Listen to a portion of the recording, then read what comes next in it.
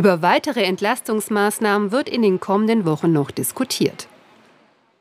Energiemangel ein Problem, mit dem die Wirtschaft zu kämpfen hat. Schloss Jakisch in der Frankfurter Börse. Dies hat heute auch den IFO-Geschäftsklimaindex gedrückt. Äh, wie stark denn?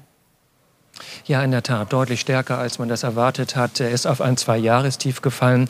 Dieser IFO-Geschäftsklimaindex wird ja vom IFO-Institut in München äh, jeden Monat erhoben. Dazu werden rund 9000 Manager befragt. Im Moment, muss man sagen, ist die Stimmung doch extrem eingetrübt.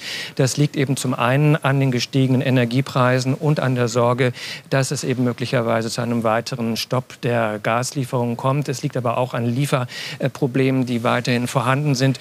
Und insgesamt ist dementsprechend dieser Index Index sehr deutlich nach unten gegangen und er deutet darauf hin, dass Deutschland auf eine Rezession zusteuert. Das jedenfalls die Aussagen des IFO-Instituts heute.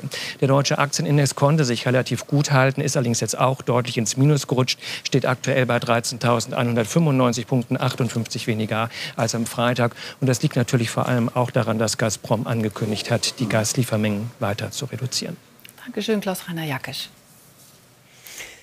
Die Probleme an deutschen Flughäfen dürften sich am Mittwoch noch einmal deutlich verschärfen. Die Gewerkschaft Verdi hat das Bodenpersonal der Lufthansa zu einem eintägigen Warnstreik aufgerufen.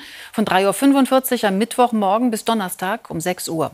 Hintergrund sind die stockenden Tarifverhandlungen für die rund 20.000 Beschäftigten. Die nächsten Gespräche finden am 3. August statt. Nicht jeder, der mit dem Coronavirus infiziert ist, wird auch erfasst. Das kann zum Beispiel daran liegen, dass man bei einer Infektion keine Symptome hat oder nicht jeder einen PCR-Test macht. Dadurch ist die Dunkelziffer weitaus höher als die Zahlen der Gesundheitsämter. Mehr Aufschluss über das tatsächliche Infektionsgeschehen können aber Abwasseruntersuchungen liefern. Das hat das Landesamt für Umweltschutz in Sachsen-Anhalt mit einem Pilotprojekt getestet. Eine Kläranlage in Halle in Sachsen-Anhalt. Hier läuft jeden Tag das Abwasser von Zehntausenden Haushalten durch. Seit März vergangenen Jahres wird das regelmäßig auf Coronaviren untersucht. So soll die Verbreitung des Virus schneller erkannt werden als bisher durch die Meldedaten der Gesundheitsämter.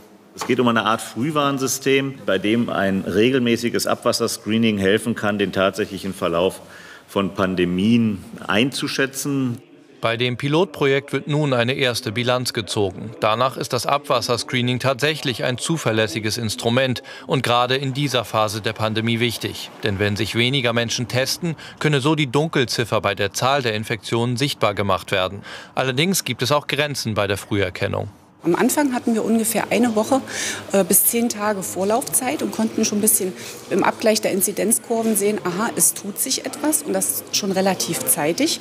Das ist jetzt gegen Ende des Pilotprojektes ähm, stark verändert, weil die Omikron-Variante ähm, eine geringe Inkubationszeit hat und dadurch sind wir jetzt so bei drei bis vier Tagen zusammengeschrumpft. Trotzdem, in Sachsen-Anhalt soll das Projekt künftig ausgeweitet werden. Denn nicht nur bei Corona, sondern auch bei der Früherkennung von anderen Krankheiten könnte die Abwasseruntersuchung in Zukunft eingesetzt werden.